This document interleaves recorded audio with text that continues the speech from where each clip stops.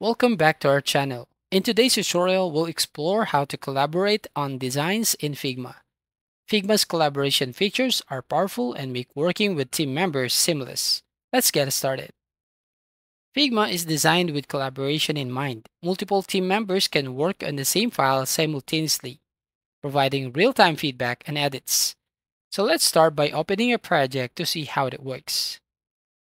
So here as you can see, to collaborate, you first need to invite team members to your project. You'll then need to click on the share button at the top right hand corner, and then here enter the email addresses of the people you want to invite. For example, here I'm going to type an email, and then you're going to set their permissions, either can view or can edit. Once done, click on the invite button.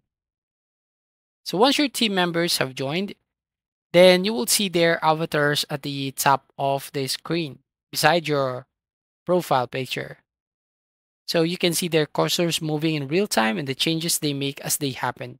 This makes it easy to work together and stay on the same page.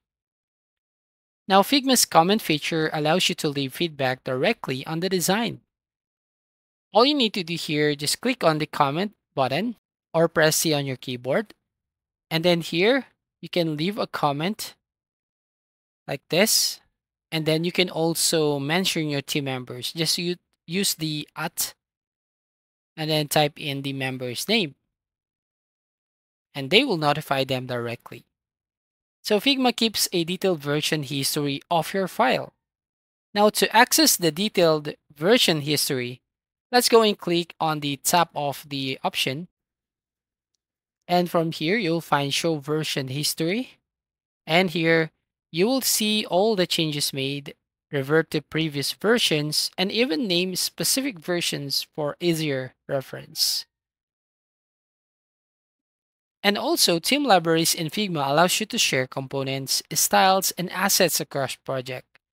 To use the team library, you can click on the library icon and enable the libraries you need. So you can now drag and drop shared components into your design. To present your design, all you need to do here is you're going to click all the items on your Figma that you want to present, and then click on this arrow at the top right. So this opens a new window where you can navigate through your design as a prototype. It's perfect for representing to stakeholders or getting team feedback. So Figma makes it easy to hand off designs to developers.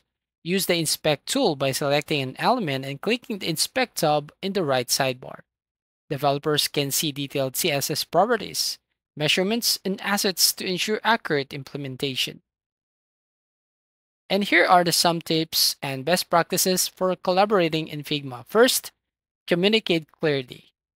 Use comments and mentions to communicate directly within the design. Second, organize your files. Keep your files and components organized for easy access. Third, regularly save versions. Name and save versions at key milestone to track progress and changes. And that's it. You can now learn how to collaborate on designs in Figma. If you found this tutorial helpful, please give it a thumbs up, leave a comment, and don't forget to subscribe for more design tips and tutorials. So thank you for watching, please like and subscribe and see you in the next video.